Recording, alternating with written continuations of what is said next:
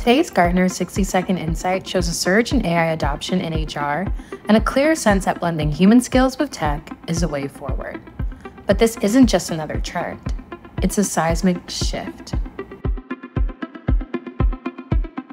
I caught up with Gartner VP analyst Mark Whittle to unpack what this means for HR leaders heading into 2026.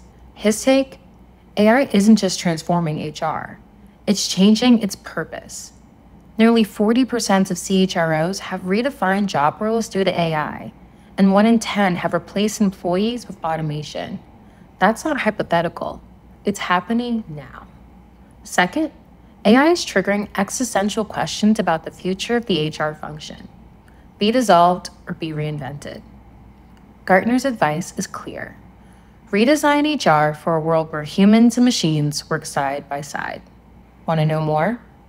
Dive into Gartner's 2026 CHRO Priorities Research. The future of HR starts here.